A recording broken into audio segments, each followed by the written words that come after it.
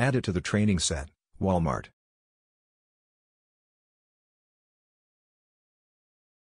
All kidding aside, I guess this reveals that a key part of their substitution recommendations includes preserving total amount spent. Tampax Pearl Pearl Onions Mushrooms?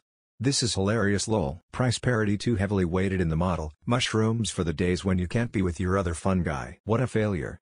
It was clearly marshmallows. Adding to my list of things to show people when they're concerned about AI overlords etc lol. She come back for the antifungal cream you win twice brother that's good biz. They will do in a pinch. Looks like someone trained on the price column on accident Lamau. And this, ladies, is how you can end up with a yeast infection. As a woman who periods clearly Walmart's just trying to replace our tampons with a fun guy so we can get over our period troubles. I am cackling. Why wouldn't they just use product categories and pick the one with the closest price?